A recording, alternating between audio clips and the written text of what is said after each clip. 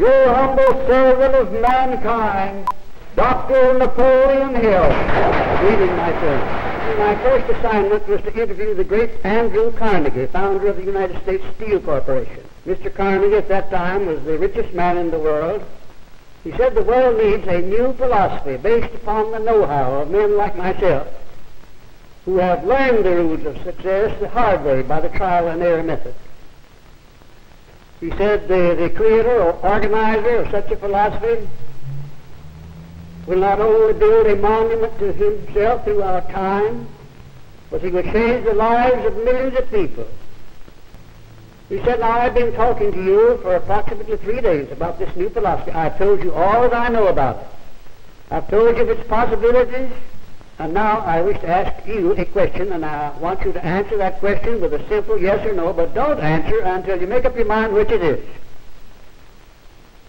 If I commission you to become the author of this success philosophy, give you letters of introduction that'll open doors to you you'll have to have opened, are you willing to devote 20 years to research, earning your own way as you go along without any subsidy from me, yes or no?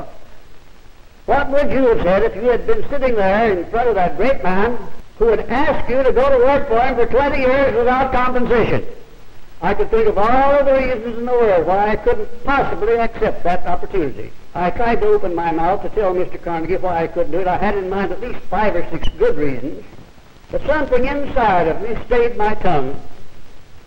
I said, Mr. Carnegie, I not only will accept the commission you have offered me, sir, but you may depend upon it that I will complete it. He grabbed me by the hand and he said, I not only like what you said, but I like the way you said it. You've got the job. My first interview was with President Theodore Roosevelt in his last year in office. Mr. Andrew Carnegie personally called the President, asked him to see me.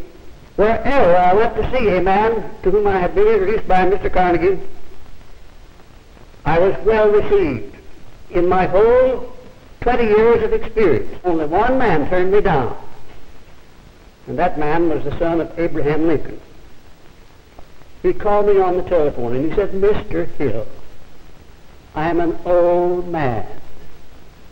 I have never done anything in life to justify my assuming that I could contribute anything to a success philosophy.